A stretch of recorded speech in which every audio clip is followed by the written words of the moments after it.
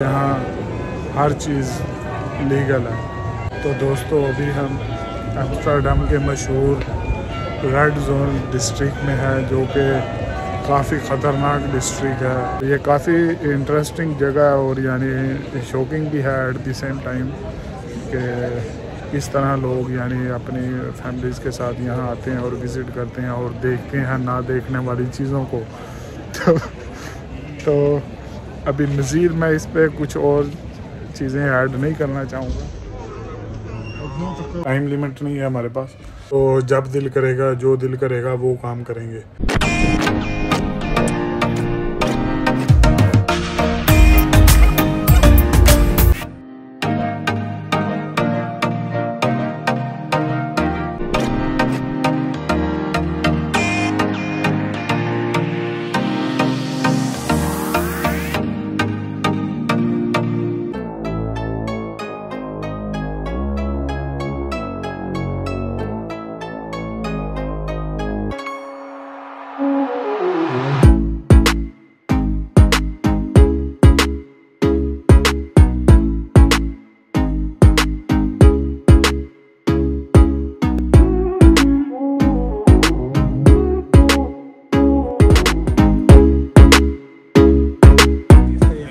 Acontecer com a opinião que você não muda. तो दोस्तों ये है बाहर का व्यू जो कि हम अपने हॉस्टल की विंडो से देख रहे हैं बाहर। नॉट बैड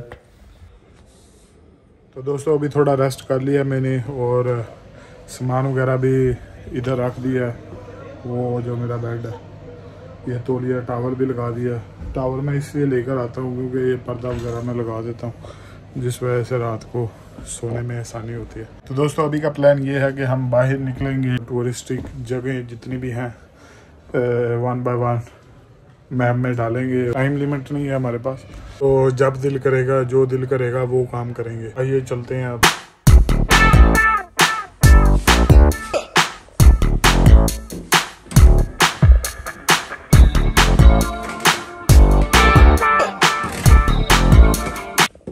दोस्तों जो हमारा कीमती सामान था लैपटॉप और जो चार्जर वगैरह, वो सारा हमने काउंटर पे सबमिट करवा दिया, क्योंकि कई दफ़ा रूम में कोई कोई इस तरह के लोग आ जाते हैं जो चोरी वगैरह का ख़तरा होता है, इस तरह की इम्पोर्टेंट चीज़ें जो हैं। तो अगर लोकल रूम ना हो रूम में तो फिर आप यानी जो हॉस्टल की सर्विस है, उनसे आप बात करके तो अपना सामान महफूज जगह पे रखवा सकते हैं, क्योंकि पूरा टाइम बता के नहीं आता।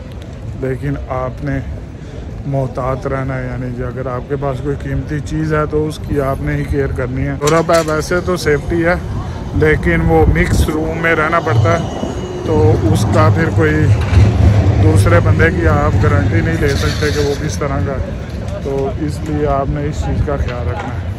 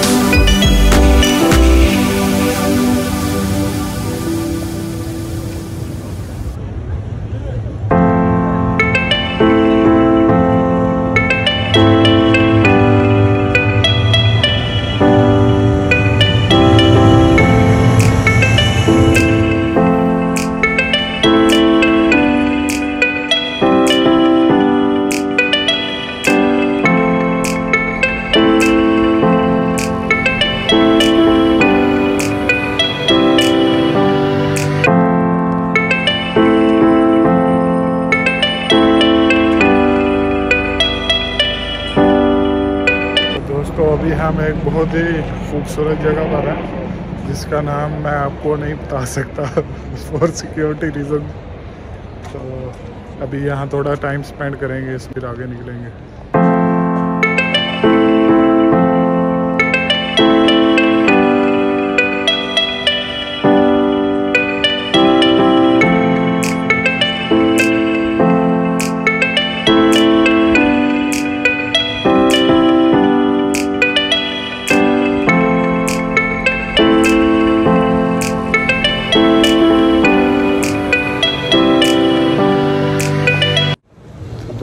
इस एरिए में आपको काफ़ी सारी देसी शॉप्स मिल जाएँगी। हर तरह का फ़ूड यहाँ अवेलेबल है, हर कंट्री का। और शॉप्स बहुत ज़्यादा तो वो अपनी मर्ज़ी से खाएँ भी हैं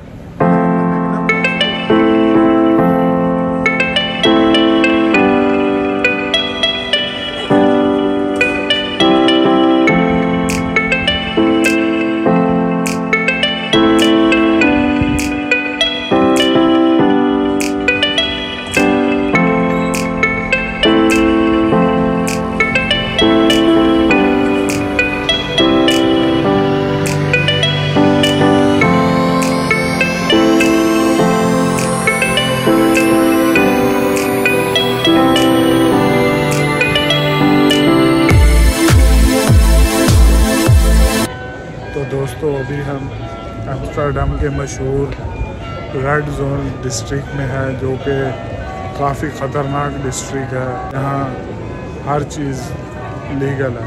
तो एक अच्छी बात भी है कि हर चीज़ लीगल है, लेकिन हर बुरी चीज़ भी लीगल है।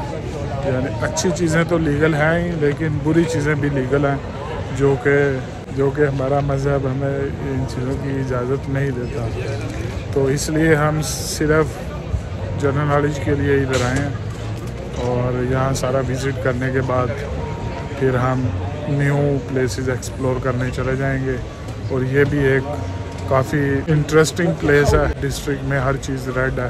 रेड जोन में आप दाखिल हो गए हो। और तो दोस्तों, यहाँ पर आपको व्यूज़ काफ़ी अच्छे मिल जाते हैं। यानी बहुत अच्छे व्यूज़ होते हैं इधर।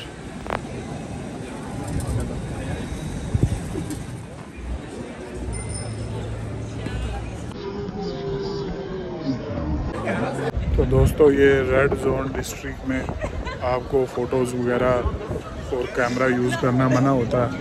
क्योंकि यहाँ सारी चीज़ें इलीगल होती हैं। तो इसलिए यानी इन्होंने कैमरा वीडियो वगैरह बनाना अ, मना किया होता है। और साथ बाहर साइन भी लगा होता है कि कैमरा और वीडियो वगैरह बनाना अलो नहीं है। तो यहाँ ये चीज़ें लीगल हैं यानी एक पूरा डिस्ट्रिक्ट इन्होंने इधर बनाया और बहुत सारे लोग अपने गर्लफ्रेंड्स और फैमिलीज़ के साथ यहाँ आती हैं। यानी बच्चों को साथ नहीं लेके आते लेकिन फैमिली की फैमिली यहाँ आती है और विज़िट करती है और देखती है। यानी ज़िंदगी के नशेब फराज को देख कर लुफानंदोज़ होती हैं। ये काफ़ी इंटरेस्टिंग जगह है और यानी शॉकिंग भी है एट द सेम टाइम कि इस तरह लोग यानी अपनी फैमिलीज़ के साथ यहाँ आते हैं और विज़िट करते हैं और देखते हैं ना देखने वाली चीज़ों को। तो, तो अभी मज़ीद मैं इस पर कुछ और चीज़ें ऐड नहीं करना चाहूँगा। तो फिर मैं एक चक्कर लगा कर तो फिर दूसरी जगह पे चलते हैं।